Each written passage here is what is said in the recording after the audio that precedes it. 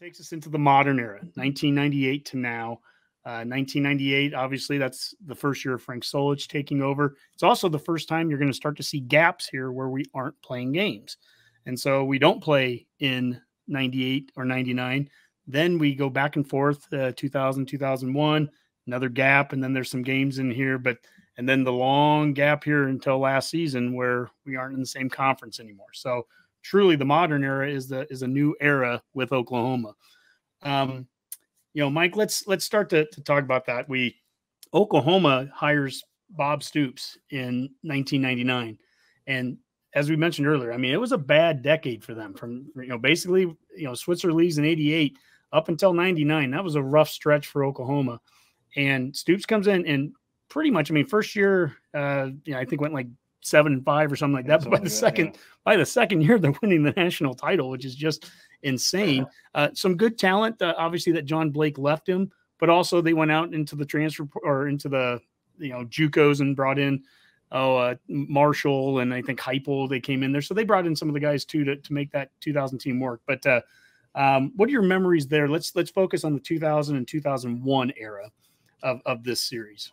Okay, because I was going to say there are two things in the, in the era that we're talking about. Two things that come to mind for me. One is the 2001 game, um, which which I consider kind of the beginning of the end for Nebraska, of consistently being in the national conversation. You know, Nebraska uh, uh, black 41 flash reverse pass. Here, I'm going to play it. So now here are the Huskers at the 36-yard line. First down and 10 to go. Here's a handoff to Thunder, who gives it back to Mike Stuntz. He's going to throw it. He's got a man out yes! the 40. It is Eric Crouch. 15, 10, 5, touchdown! Yes!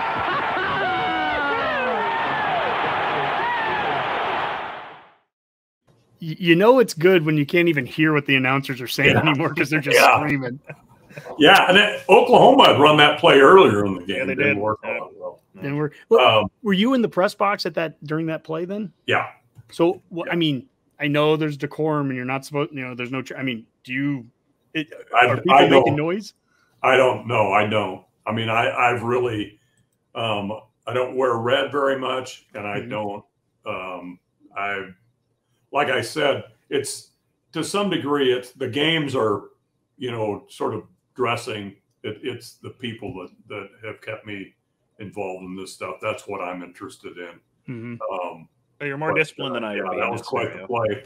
You know, which made sense. Stuntz was a quarterback. He was recruited as a quarterback, and he was playing split end. He could do that, and and uh, um, you know, it, we didn't even talk about in '79 when Nebraska first ran the the fumblerooski, ran it twice, and Randy Schleusener scored a touchdown, and John Havekost uh, picked up a first down, I think, on that um, running the uh, Bumrooski against Oklahoma in the Oklahoma game. They lost that game, so mm-hmm. uh, uh, yeah. But that black forty-one flash reverse pass uh, was what I remember about this era. Uh, mm-hmm. probably uh, and then the uh, 2004 game, which whenever you want to talk about that, that's the other one I remember. Yeah. Well, I what one thing about the 2000 game because that was a big win for Oklahoma to get yes. against us. That that really gave them uh, the momentum. That oh, they're I was gonna, at that game. Oh, you were. Oh yeah, yeah. It started Rapp so well. was number one, yeah. right? We, one versus three. Yeah, yeah. And, and we Nebraska, started off 14 to nothing, and everything was going great. And then, Nebraska yeah. couldn't do anything nope. wrong going up to 14 nothing. I remember Davison had a long catch, and then they I think they kicked us down to our end zone and we did like a fullback dive to Willie Miller, and he went for like 60 yards. It was just mm-hmm. like everything was working, and then just on a just, just, a flip of a switch, yeah, I don't know what happened. Oklahoma just went went. Yeah, what 31 to 14? Was it? Oh, yeah, yeah, yeah, yeah. They yeah we didn't score again. Nope, nope. But but so yeah, you're you're right. We split those two games. Then we're, then we're off for two seasons, and then it's 2004, and now a lot has changed in Lincoln. Frank Solich is no longer our coach. Steve Pederson made the decision to go with Callahan, and, and we go down to to Norman, and uh, we had Glenn Snodgrass, the head football coach at York, on a couple weeks ago. Oh yeah, and, uh, and I and he's from uh, he's from Scotia originally, and so I was just talking to him about Scotia, and the the player I remember there is Steve Kriewald, the fullback, and Kriewald, you know, in in 2004, um, we pretty much aren't using the fullback anymore like we would have in, in the olden days. And this was the this was the the year where Steve is really gonna you know have his season and he just doesn't get it because the the, the scheme isn't for him. But the end of that game, we were down 31 or 30 to nothing, I think. Had done nothing. nothing. Yeah, had done nothing the whole game. And so mm-hmm. they just basically hand a fullback dive off just to try to run the clock out. And of course he goes for like 60 yards and gets us into a you know field goal position. But but heaven forbid we run the damn fullback again. We can't do that. You know. They, yeah, but we got ran at least. Yeah.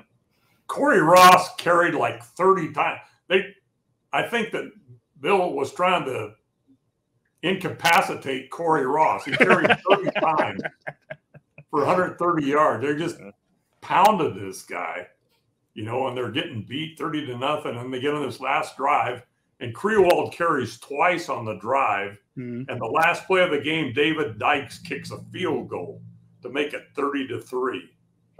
And, you know, Oklahoma fans are throwing oranges on the field. Mm-hmm. Um, and before the game happened was when Darren DeLone ran into one of the roughnecks and knocked some teeth out. Oh, geez. Oh, um, yep. And, uh, after the game, you know, we're doing the post game interview, and Bill Callahan, you know, somebody said, "What was the game plan?"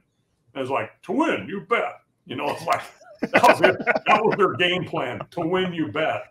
And uh, and then he said something about then they were throwing fruit on the field and whatever. It was just a disaster.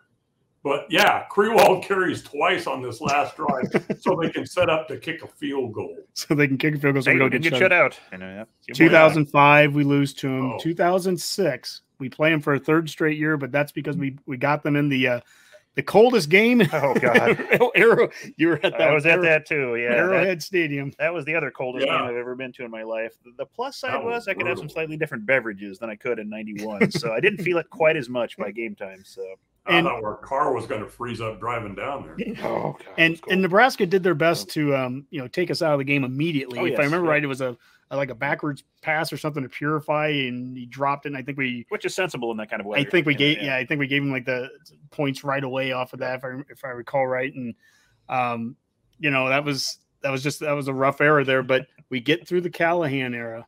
He gets fired after uh, 2007, and in 2008 and nine, we're going to play him again, and now it's with Bo and uh, that's I went down there. Well, we all went down there. We took the RV trip. It was about and uh, Mac was on it with us, and and uh, we we go down there and um, didn't think we were going to win it by any means, but holy smokes! I mean, we had barely sat down. Your brother, in fact, didn't even have the. He went to the um, concession stand before the kickoff, and he and he got to his seats with about nine minutes left, and we were down twenty one nothing already. And he's like, "What in the world happened?" I'm like, "Yeah, yeah, yeah. it's it's that bad." And eventually got down 35 nothing and then you know made the score somewhat respectable by the end. It was like 62 to 30 or something like that.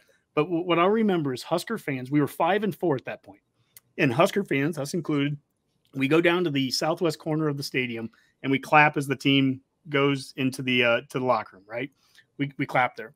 And i kind of walked around and i looked down the hallway the long hallway there um, and i see barney cotton from the side and you know here's a former Husker player and everything, and he's got his his head up against his arm up against the wall, and he's just kind of he's having a quiet moment, you know, in this concourse, and and I'm just thinking that's you know that's that's this meant a lot to him, it, it, you know, and I mean it hurts and everything, and it's Oklahoma, but it means a lot to the guy, and I was really proud how that team turned around and came back and won four straight games to go nine and four. And and you know, no one wants to give Bo the credit for winning nine and ten games a season. And Bo had his demons and bad things, but but there were good things too. And and how they came back from that, uh, you know, I thought led a lot. And then and then after that game, in fact, what what happens, what people forget about that game, it was so strange to be there because we were not the the main game of the night. What was happening in in Lubbock with Texas Tech and Texas mm-hmm. was the bigger deal uh, that's the the Michael Crabtree night catching it. You know, in Texas, Oklahoma needed Texas to lose the Texas Tech, and so we were this afterthought because we're getting blown out. It was so strange, but we talked with these really cool Oklahoma fans, great fans. We talked with them after the game, and they were like consoling us and saying, "Hey, we were there in the '90s. We understand. You know, you guys will get it back." And Mac and I are like, "Hell yeah, we'll get it back. I mean, we could beat you guys next year." And they were like, "Ah, oh, you know, you're crazy." Well, next season, 2009, first time in the Stoops era, they didn't score a touchdown. and uh, Nebraska did uh, did get their their uh, revenge, I guess that that next season. But that's the last one that we've had against them. We would play them in the final game of uh, the Big uh, 12 for us, at least the 2010 game. Here, I'm going to show this clip here. And so fitting that the final championship game features two rivals connected across time. He's all the way home! Across borders. Before the Republic was even formed. But territory is still turf, home soil, and the schools that stand on it are symbols of the proud states they serve. So when these teams meet, there's more than a game on the line, even when the Big 12 title is at stake like today. No, this one is about legacies and long-held grudges. This is Exhibit A for rivalry, for what the word truly means. This is Oklahoma versus Nebraska, the land, the people, and their teams.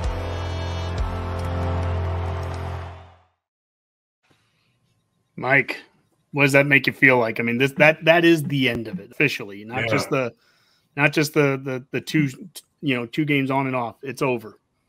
Yeah, yeah, that's uh that was a sad sad deal for me, and you know it that the fact that they played last year and they're going to play this year to me it's not the same thing. It's just you know it's it's something it's something entirely different from what that was um, to my way of thinking. Um, because they, you know, being part of the same conference and and all those years and how they got in the same conference going clear back and uh, it just I don't know. It was it was a sad moment when Nebraska went to the Big Ten and and left Oklahoma and now Oklahoma and Texas are going to the SEC and um, it just becomes more and more distance uh, yeah, between those programs but you know, there was a time, like I said, that was my favorite place to go for for road mm-hmm. games because that's what I grew up with. Norman, Oklahoma was was the place, and everybody was so cordial down there, and you knew people, and um, mm-hmm. you know, it just isn't the same. And and uh, 2010, that was that was kind of the end of it. But it, you know, it it had changed by then anyway, but uh, not in my mind until the till the real end came.